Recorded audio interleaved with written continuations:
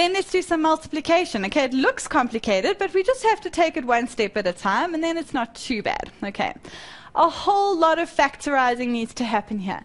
Multiplication and division do not require an LCD, okay? What they require is cross multiplication and cross cancelling, all right? So, first things first, it's factorizing. So, can you see it's a very different approach that we have to the adding and the subtracting. How am I going to factorize this numerator? Well, that is a trinomial. And as a trinomial factorized, I'm going to have an x and an x. My factors of 6, I'm going to have to say 3y and 2y, and both of them are going to have to be positives. Okay? That is then going to be over the denominator of, I've got uh, this one over here, x squared minus 36, that's a difference of two squares. Minus 6 plus 6. Okay. Let's take a quick look at this divide. What do we do when we are dividing fractions? Okay, I'm sure we've heard the, the nickname we tip and times it. All right, we change the divide to times and we invert the fraction.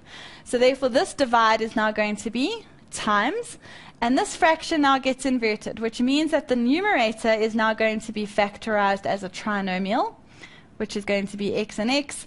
Uh, 18, 6 times 3 is 18, where negative 3 plus 3 will give you the negative 6 plus 3 will give you that negative in the middle there.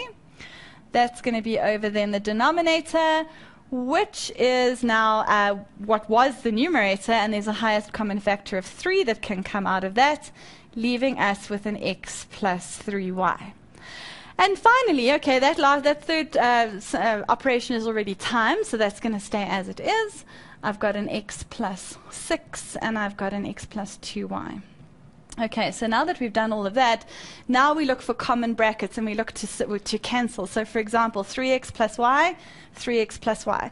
As long as you're cancelling a numerator with a denominator, you are safe, okay? x minus 6, x minus 6. I've got an x plus 6 and an x plus 6, an x plus 2y and an x plus 2y. That's leaving me with this bracket up here of x plus 3 and that little term of 3 down there. So our simplified answer is x plus 3 over 3. Okay, so please make sure you factorize everything carefully. That's worth a lot of marks, okay? There's a lot happening over there. So factorize carefully. Make sure if there's a divide that you invert your fraction and you change it to times, and then you can cross cancel. As I've said before, it doesn't require an LCD because it's not addition and subtraction. All right, so I hope you understand that. As I say, that's worth a lot of marks and a pretty pretty sure question that'll come up in that paper of yours. So please go practice those, okay?